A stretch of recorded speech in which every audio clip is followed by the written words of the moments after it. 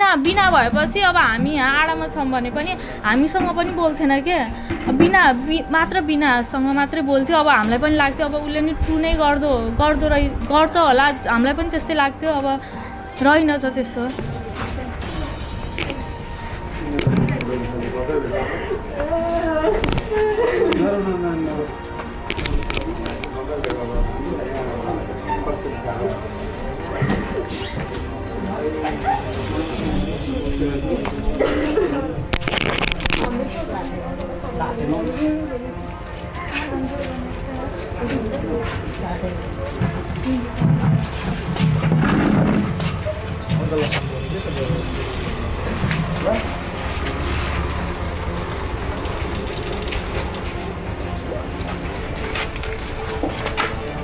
बाबा मम्मीलाई त एकदम धेरै माया गर्छ।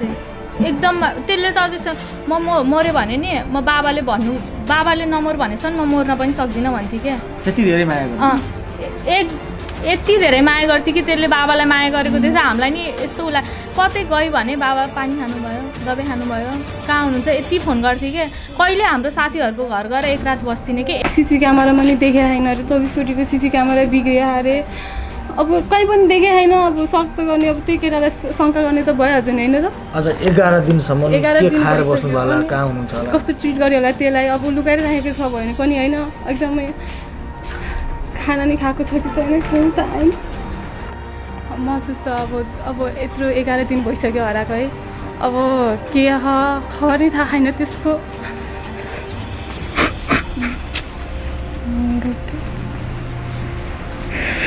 जा बहिनी एकदम सुरक्षित होस् है घर छिटै फर्की भन्छु म त यहाँबाट तपाईँहरू धेरै मिस गरिरहनु भएको छ एकदमै खालि त्यसको अनुहार मात्र आउँछ दिमागमा पनि खालि त्यो हाँसेको मात्रै याद आउँछ एकदमै माया गर्थ्यो हामी सबैलाई साथी भनेपछि एकदम मरिहत्या गर्थ्यो त्यसले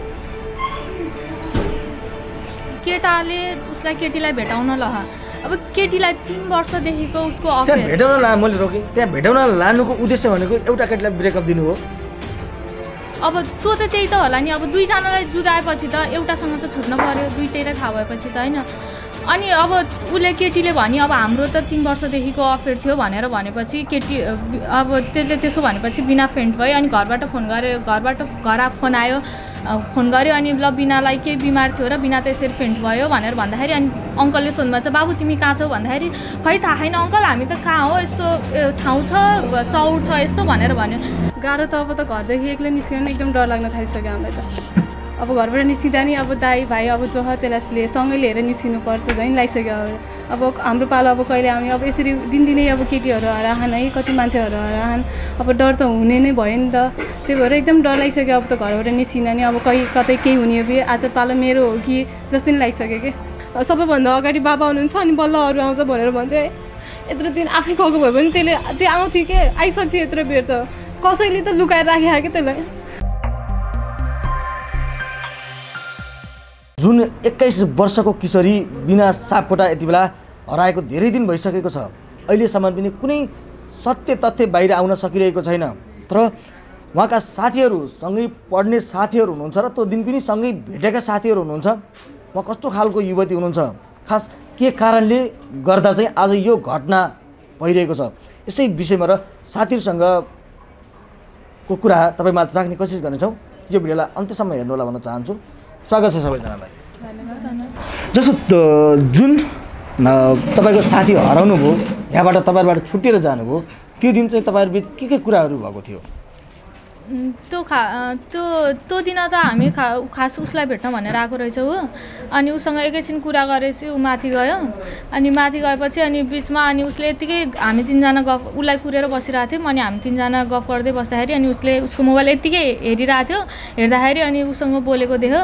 अनि बोलेको देखेपछि अनि उसले दुई दिन अगाडि उल केटालाई म्यासेज पठाएको रहेछ त्यो केटीले।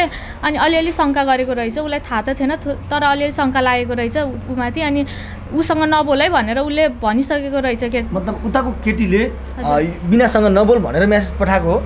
होइन उताको केटीले चाहिँ प प्रवेशलाई म्यासेज पठाएको। त्यो चाहिँ बिनाले देखेर अनि त्यसपछि अनि अलिअलि शङ्का लाग्यो होला नि उसलाई पनि। अनि त्यसपछि अबदेखि नबोल है भनेर बिनाले भनिरहेछ। अनि नबोल भनेपछि नि भोलिपल्ट जो हामी उसलाई भेट्न जाँदाखेरि उसले चाहिँ मोबाइलमा बोलेको दुई मिनट दुई मिनटै थियो होला टाइम। बोलेको देखेपछि अनि उसले भन्छ अनि हिजो मैले त तिमीलाई नबोल भनेपछि नि फेरि किन बोलेको त? भनेर भन्थ्यो।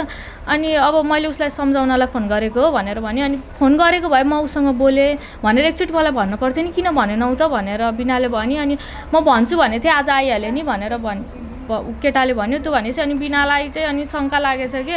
अनि ऊ एकदम रिसायो अनि रिसाएर न- ऊ सुइसी हिँडिहाल्यो त्यो भनेर।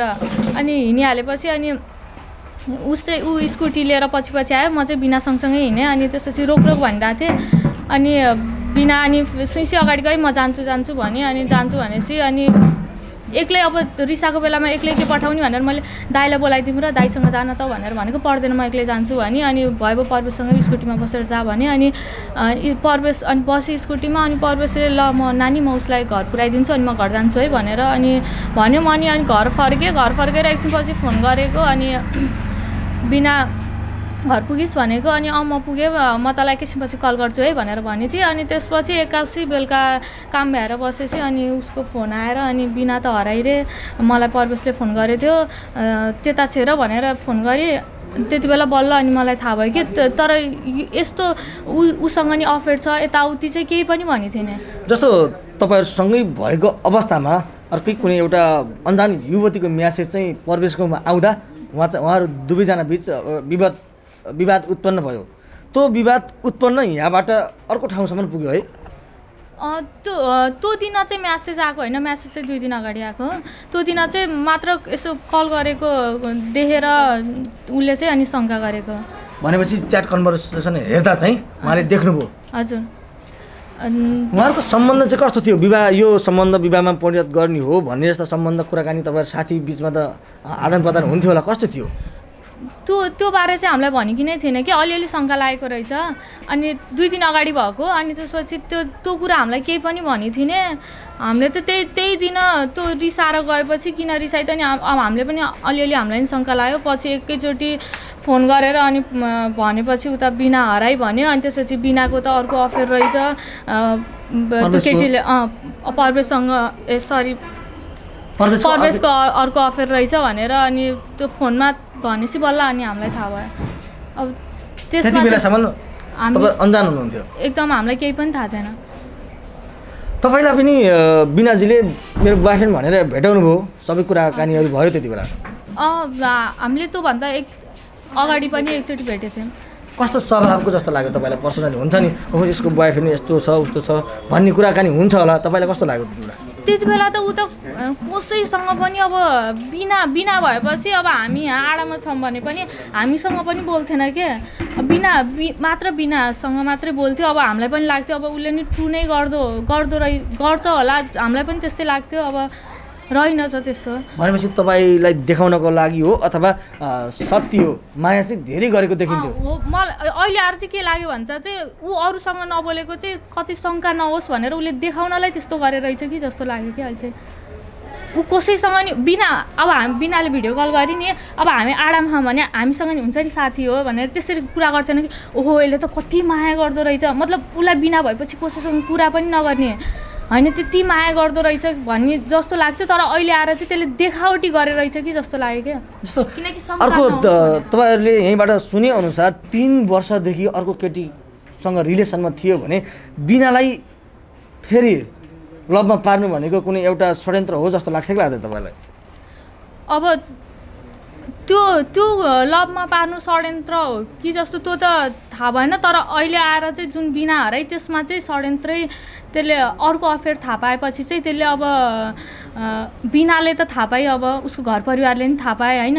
अब मलाई चाहिँ अब एकचोटि यो मेरो हातबाट गयो भने अब यो फर्केर मसँग त आउँदिनँ भन्ने त्यो सोचले त्यसले केही षड्यन्त्र गर्यो कि भन्ने त्यहाँ चाहिँ षड्यन्त्र गर्यो जस्तो लाग्छ। के लाग्छ जस्तै अब कतिपय युवतीहरू अलिकति कोमल मनको हुनुहुन्छ होइन? जब आफ्नो आफूले धेरैभन्दा धेरै माया गरेको मान्छेहरू नपाउँदा त्यही मान्छेले अर्को गर्लफ्रेन्डसँग जुदाइदिँदा कति उहाँले नि यो कदमहरू चाल्नुभयो कति आफै मिसिङ हुनुभयो जस्तो सोच्नु चाहिँ सक्नुहुन्न तपाईँले? त्यस्तो त अब कतै गएर बसिरहेछ भने पनि अब त्यसले त घर बाबा मम्मीलाई त एकदम धेरै माया गर्छ।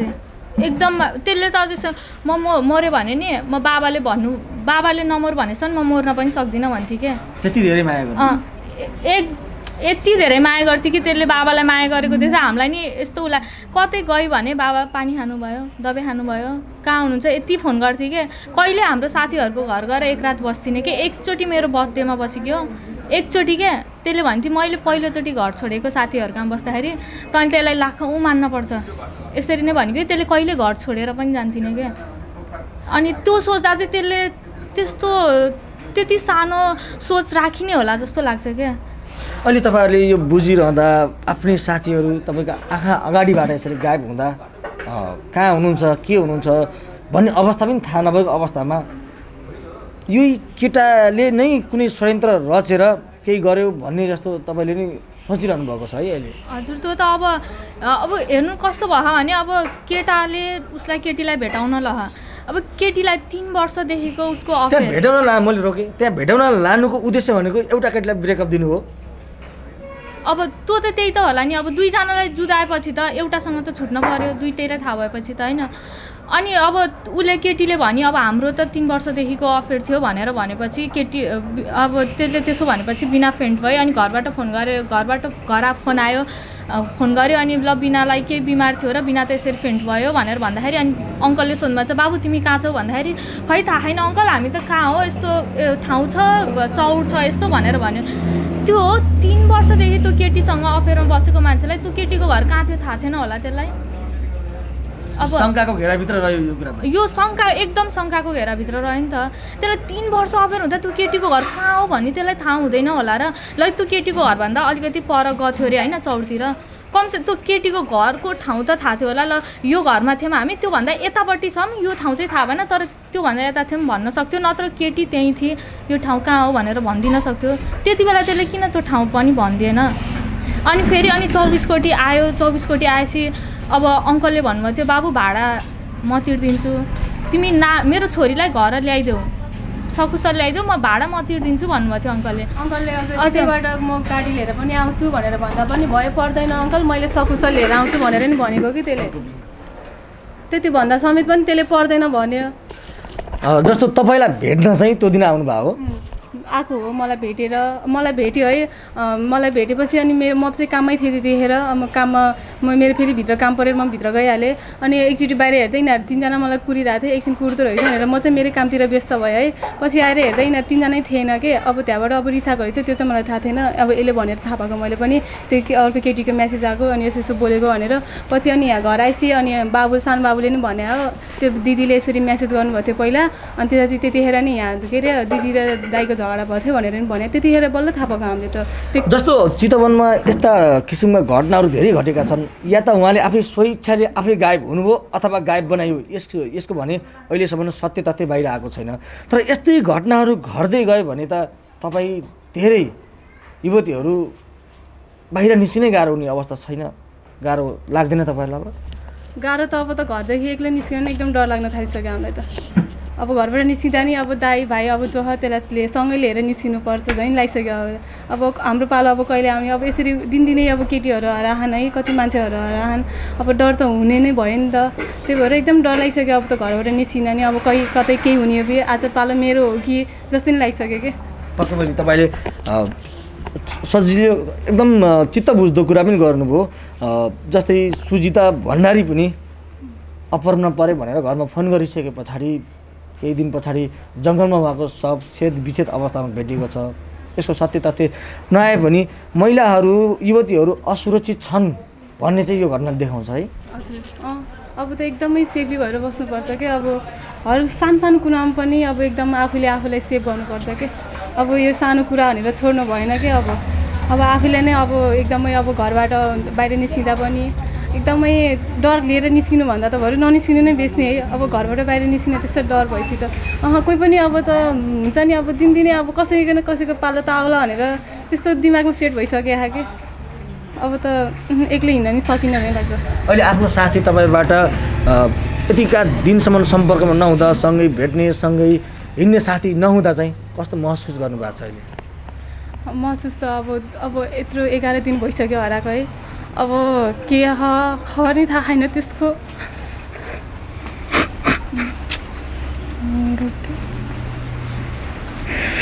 चाहे बहिनी एकदम सुरक्षित होस् है।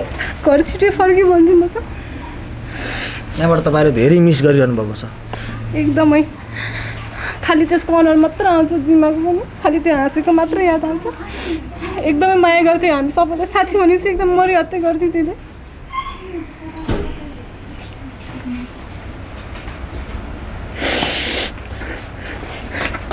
अहिले तपाईँले उहाँ सकुशल हुनुहुन्छ कुनै ठाउँमा बसिरहनु भएको छ सुरक्षित हुनुहुन्छ र यो भिडियो उहाँले हेर्दै हुनुहुन्छ भने के भन्नुहुन्छ तपाईँले अहिले?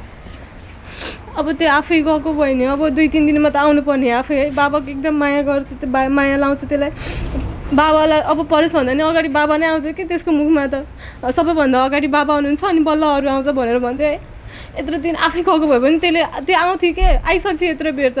कसैले त लुकाएर राखेको क्या त्यसलाई? आफै त गएको होइन त्यो। केही त केही छ। त्यो केटाले केही चाल त गरे के? हुन त यसको नकारात्मक असर नपरोस् र त्यस्तो पनि नभइदियोस्। अहिले तपाईँले सोचिरहनु भएको तपाईँको आत्माहरूले उहाँ सुरक्षित हुनुहुन्छ अथवा उहाँको लागि केही तलमाथि गरिसकिएको छ के जस्तो लाग्छ? सुरक्षित त सुरक्षितै छ झैँ लाग्छ। आशा त्यही हो अहिलेसम्म। होस् पनि। राम्रोसँग घर फर्कियोस्। त्यही हो। केही यस्तो नराम्रो चाहिँ केही नहोस् कि। पके पनि बिना सापुराजी तपाईँ जहाँ जस्तो अवस्थामा हुनुहुन्छ भने पनि यदि तपाईँले आफ्नो सबभन्दा पहिला आउने तपाईँको मुखबाट निस्किने शब्द बुवा आमा र उहाँलाई नै सक्नुहुन्न खबर गर्न भने मिडियालाई र प्रशासनलाई हरेकलाई खबर गरेर तपाईँले म यो ठाउँमा छु म यस्तो अवस्थामा छु भनेर भनिदिनु होला। तपाईँका साथी समाज आफन्त बुवा आमा सबैजना रहिरहनु भएको छ यति बेला। एउटा साथी गुमाउनु साथी गुमाउनुको पीडा एउटा छोरी गुमाउनुको पीडा छोरी हराउनुको पीडा बुवा आमालाई कति धेरै छ यति बेला। यो समाजमा पनि राम्रो मान्छेको सबैले तारिफ गर्नुहुन्छ होइन? यो अवस्थामा उहाँ नहुँदा एकदमै कमी महसुस तपाईँबाट पनि भएको छ। एकदमै अब एकदम मिल्ने साथी हराउँदा त जसलाई पनि जसलाई पनि एकदम दुःख लाग्छ नि त। अब सबभन्दा मिल्ने भनेको त्यही नै थिए। सबै कुराहरू सेयर गर्थेँ। त्यसले त्यति एउटा कुरा त्यति शङ्का मानेर अब अब कन्फर्म नभएसम्म नभने के होला है त्यो कुरा। अब त्यो कुरा भनिने यदि त्यो कुरा थाहा भएको भए त हामी पनि सँगै जान्थ्यौँ होला। अब केही तलमाथि हुन्छ भनेर हामी पनि त सोच्थ्यौँ नि त। त्यस्तो कुरा थाहा भएको भए त त्यसले एक्लै पनि जान दिन्थेनौँ हामी। हामी पनि सँगै जान्थ्यौँ कि त्योसँग। अब सिसी क्यामेरामा नि देखे छैन अरे चौबिस कोटीको सिसी क्यामेरा बिग्रियो अरे। अब कहीँ पनि देखे छैन अब सक त गर्ने अब त्यही केटालाई शङ्का गर्ने त भइहाल्छ नि होइन त? अझ एघार दिनसम्म एघार दिन कस्तो ट्रिट गर्यो होला त्यसलाई अब लुकाएर राखेको छ भने पनि होइन एकदमै खाना नि खाएको छ कि छैन त होइन हुन्छ पक्कै पनि हामी पनि यहाँबाट कामना गर्न चाहन्छौँ उहाँ फर्किनु हुनेछ होइन उहाँको चाहिँ त्यस्तो नराम्रो खबर सुन्न नपाइयोस् र यो नराम्रो खबर हामी तपाईँहरूलाई दिन नपाइयोस् भन्न चाहन्छु।